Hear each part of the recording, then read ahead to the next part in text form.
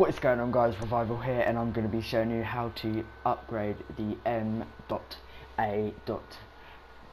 which is the MAD. So all you want to do is go right through to the mall area, go past Elvira's studio and you'll want to pick up this crowbar which is in one of the motel rooms next to the blueprint. As you'll see me here, I will pick it up, place the blueprint on there and there is the crowbar the crowbar I mean and you want to make sure you have a lot of points make sure you have like coupon clipper and refund policy so you can get through all the doors. So the first location of this part to upgrade the MAD which is the MAD is here. You want to hit these boxes. Are three boxes around the map and there's a little part. Press square on there to pick it up and it'll add to your gun the wonder weapon. So the second part we are going to go and find which is right next to the bathroom toilets.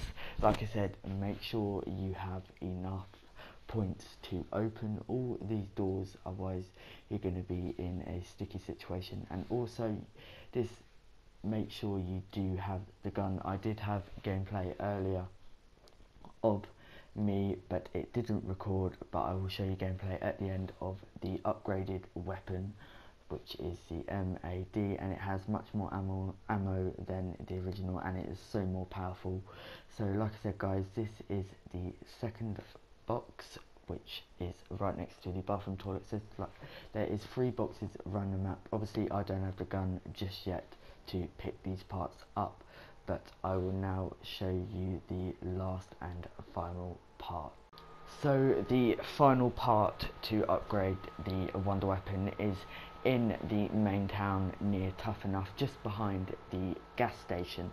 As you can see you do need a lot of points to open up all these doors and as you can see just there there is the final box on to upgrade the wonder weapon and now you have a upgraded wonder weapon. I will show you gameplay now. This is the fully upgraded wonder weapon on the new map attack of the radioactive thing. I was just gonna say Titan there and as you can see it does take out a horde as you can see just there it does take out a horde and to refill this ammo you can basically have unlimited ammo go to these pods here press square and it will refill your ammo just like that this gun is pretty amazing it's pos possibly one of the best weapons that we've had in zombies especially wonder weapons so yeah guys let me know what you think down in the description of this new wonder weapon. I would love to hear your thoughts and don't forget to like and subscribe. Really helps out the channel guys. Thanks very much for watching.